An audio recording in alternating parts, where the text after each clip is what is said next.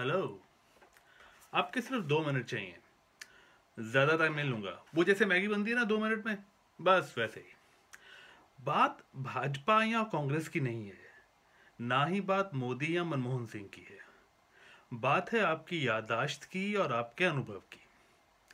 आज से 40 साल पहले जब प्राइवेट अस्पताल बनने शुरू हुए थे ना तो यही कहा गया था कि अस्पताल सरकारी भी रहेंगे और अस्पताल प्राइवेट भी चलेंगे। सरकारी ठीक ठाक चलते रहेंगे। और लोगों को उससे फ़ायदा होगा। हुआ। फिर तीस साल पहले प्राइवेट स्कूल बनने शुरू हुए। कहा गया, स्कूल सरकारी भी रहेंगे, स्कूल प्राइवेट भी रहेंगे। इससे स्टूडेंट्स को और उनके पेरेंट्स को और यहाँ तक कि टीचर्स को भी फ़ायदा होगा। हुआ।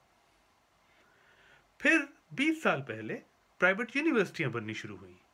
कहा गया कि यूनिवर्सिटियाँ सरकारी भी रहेंगी यूनिवर्सिटियाँ प्राइवेट भी रहेंगी। इससे हायर एजुकेशन और रिसर्च का लेवल ऊपर उठेगा। उठा। अब कह रहे हैं मंडियाँ सरकारी भी रहेंगी मंडियाँ प्राइवेट भी रहेंगी। इससे किसानों को फ़ायदा होगा। वेल well, कहने को तो मैगी वाला भी कई सालों से कह रहा है कि दो मिनट में बन जाती है। सच बताना। बनती है क्या?